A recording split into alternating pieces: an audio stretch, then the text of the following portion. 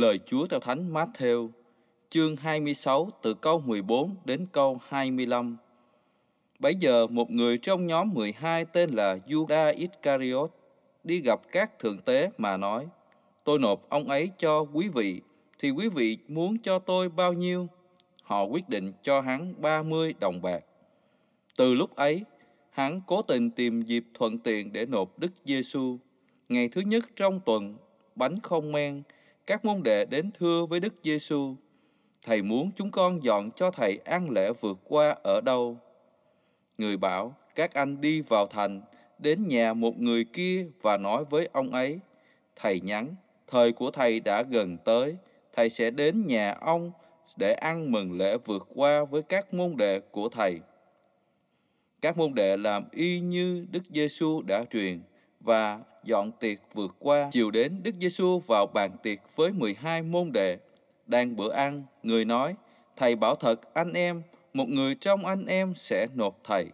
Các môn đệ buồn rầu quá sức, lần lượt hỏi người, Thưa thầy, chẳng lẽ con sao? Người đáp, kẻ giơ tay chấm chung một đĩa với thầy, đã hẳn có người ra đi, theo như lời đã chép về người. Nhưng khốn cho kẻ nào nộp con người, thà nó đừng sinh ra thì hơn. Juda, kẻ nộp người cũng hỏi, Rabbi, chẳng lẽ con sao? Người trả lời, chính anh đó.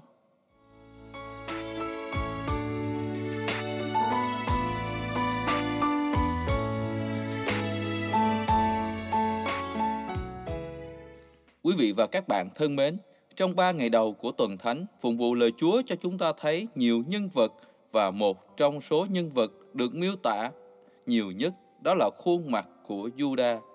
Juda, một trong 12 tông đồ được Chúa Giêsu ưu ái chọn gọi, được tín nhiệm trao cho chức quản lý, được Đức Giêsu khiển trách cách khéo léo và kín đáo để không mất uy tín trước các anh em đồng môn khác.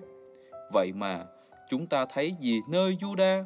Nói theo kiểu người đời, Juda là kẻ ăn cháo đá bát, là kẻ phản thầy và kết cục của kẻ phản bội không mấy tốt đẹp. Thế nhưng qua Juda chúng ta thấy một tình thương vô bờ bến của Thiên Chúa dành cho chúng ta.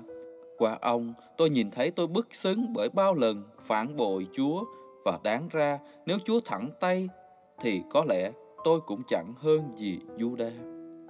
Một lần nữa, chúng ta xác tín về tình thương Chúa dành cho Juda cũng như mỗi người chúng ta luôn phó thác cậy trông vào Ngài.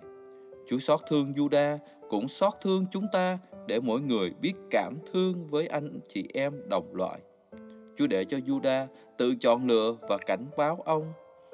Chúa cũng ban tự do cho chúng ta và rất nhiều lần Chúa khẽ nhắc nhở chúng ta, đặc biệt qua mùa chay thánh này, hãy sám hối, hãy tỉnh thức và cầu nguyện luôn, kẻo xa trước cám dỗ. Lạy Chúa, tình thương Chúa luôn hải hà trên chúng con, thế nhưng chúng con nhiều lần làm ngơ trước hồng ân và lời cảnh tỉnh của Chúa. Chúng con vẫn cứ phạm tội. Nguyện xin Chúa vì công nghiệp của con Chúa là Đức Giêsu Kitô tha thứ tội lỗi cho chúng con. Amen.